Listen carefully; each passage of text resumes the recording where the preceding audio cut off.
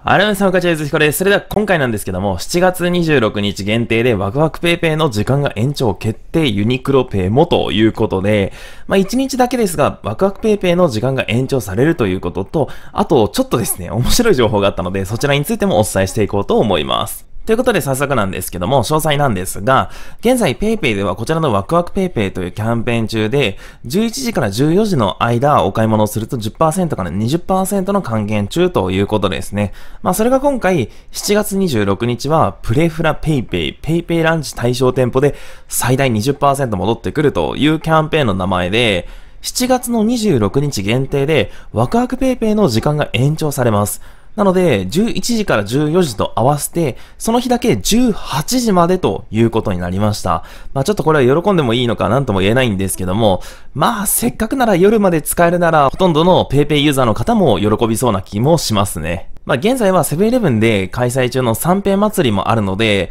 そちらをまあ使う方がいいかなというふうにも思いました。で、PayPay のお知らせはここまでなんですが、ちょっと動画の尺的に短すぎるので、話は少し外れるんですけども、今朝とあるツイートを発見しまして、こちらですね。まさかのユニクロペイっていう